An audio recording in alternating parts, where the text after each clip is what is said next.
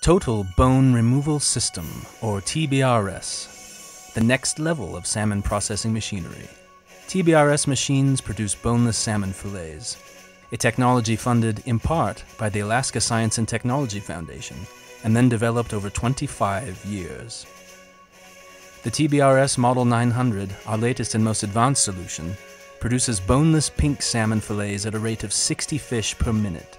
Most importantly, on fresh, pre rigor fish. The Model 900 cuts out the pin bones, producing a fillet in two strips the upper portion and the lower portion, below the pin bone array. A single Model 900 can produce 14.7 million pounds of boneless salmon meat in a single year.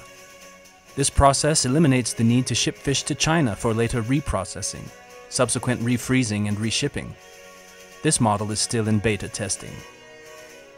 Our first breakthrough design, the Model 700, can remove all bones from a fresh, pre rigor salmon of any species at a rate of 15 fish per minute, producing whole, boneless fillets.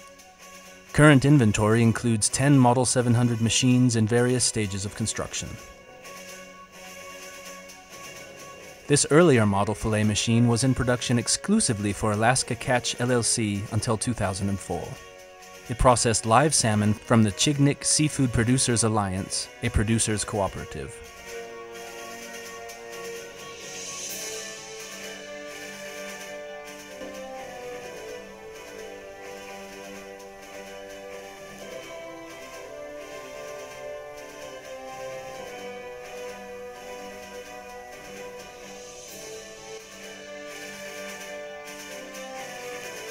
TBRS provides other advanced salmon processing machinery, some currently in use by Icicle and OBI Seafoods.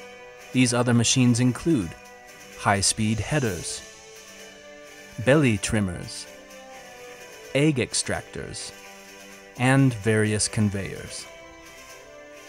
Many of these designs are patentable, although the Model 700 patent has expired.